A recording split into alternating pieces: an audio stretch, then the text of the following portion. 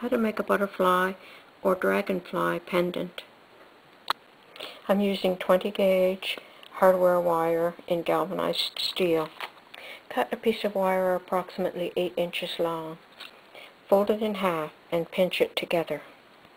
Place some beads on the wire and I have a smaller bead for around the neck and a larger bead for the head. Curl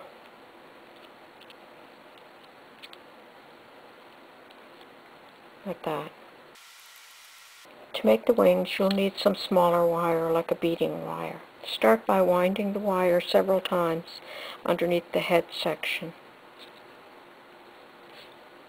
Cut the wire off so that you have approximately 12 inches of wire.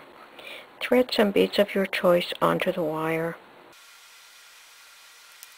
Place about two and a half inches of beads on the wire. Curl the wire around your thumb and twist it several times under the head. So now I'm going to put another two inches of wire for the opposite wing. Like that. Bend it around your finger. Twist it around the body. Now we're going to make these two wings. Instead of two and a half inches, we're going to put two inches of beads on. Like that bring it around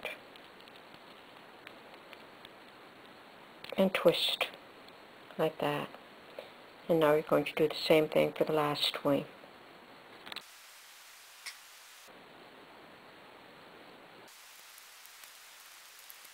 Cut off the extra wire and pinch in the end of the wire. And there you have a cute little dragonfly or butterfly pendant and you could pass a cord through the bottom, through one of the wings, or through one of these scrolls.